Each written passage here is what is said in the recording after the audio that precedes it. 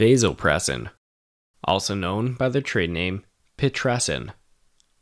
Vasopressin is indicated for the management of diabetes insipidus and for the treatment of ventricular tachycardia or ventricular fibrillation unresponsive to initial shocks, and for GI hemorrhage.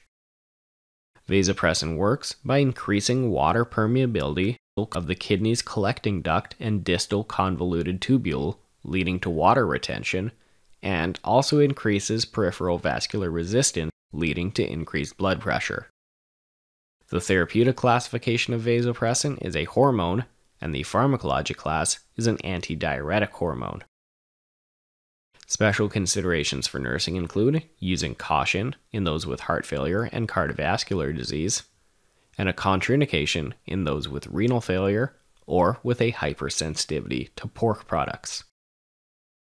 BP, heart rate, and EKG should all be closely monitored while on vasopressin therapy, and urine specific gravity and osmolality are also important things to monitor. Patients should be weighed frequently and assessed for edema, especially if on prolonged courses of vasopressin, and electrolyte panels should also be checked. Vasopressin should not be used in combination with alcohol. And it is important to note that the elderly patients have increased responsiveness to the effects of vasopressin on water homeostasis. If extravasation of vasopressin occurs, it can lead to severe vasoconstriction of local tissue, leading to necrosis and gangrene. Therefore, if any sign of extravasation occurs, the infusion should be stopped immediately and a new IV site started.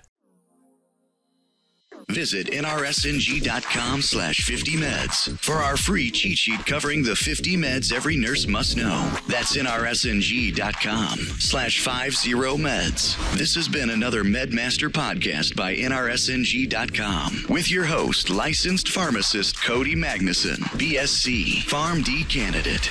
Now, from all of us at NRSNG, thanks for being here and happy nursing.